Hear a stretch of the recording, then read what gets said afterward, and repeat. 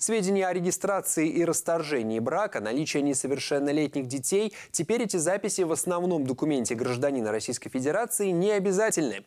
Каким по новому закону стал наш паспорт и что в нем изменится? Об этом в следующем сюжете выпуска.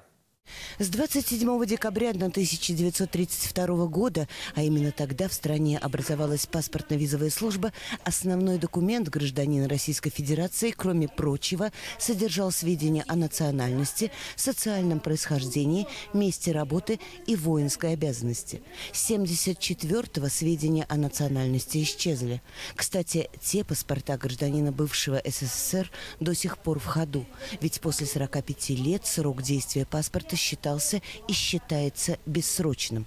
Сегодня основной документ гражданина Российской Федерации выдается с 14 лет, с двумя возрастами замены в 20 и 45. Причем с 30 до 90 суток после дня рождения увеличен срок обращения за новым документом. Все эти 90 дней старый паспорт считается действительным. Выдача нашего основного документа для всех граждан Российской Федерации происходит происходит по экстерриториальному принципу, то есть в любом месте, где находится гражданин Российской Федерации, он может обратиться либо в МФЦ, либо в подразделение по вопросам миграции и подать это заявление либо по месту жительства, либо по месту пребывания, либо по месту фактического обращения. Срок выдачи нового документа от 10 до 30 суток. С 16 июня 2021 года в новом паспортном бланке вы не найдете некоторых привычных записей. В том бланке предусматривался личный код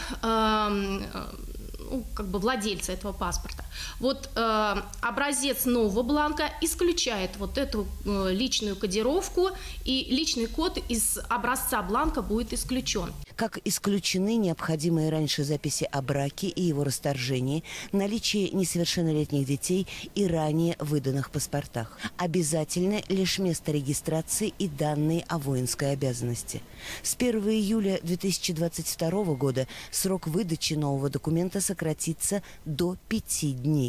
А с 2023 наш паспорт будет представлять собой пластиковую карту с электронным чипом. С изображением фотографий и всех данных, э, соответственно, на этом, пласти, на этом пластике.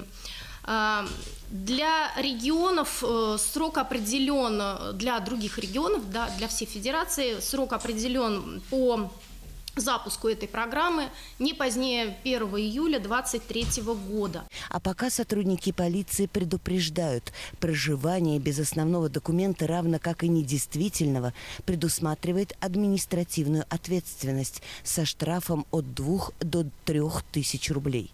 И еще помните, никому не отдавайте свой паспорт в качестве залога. Это противозаконно.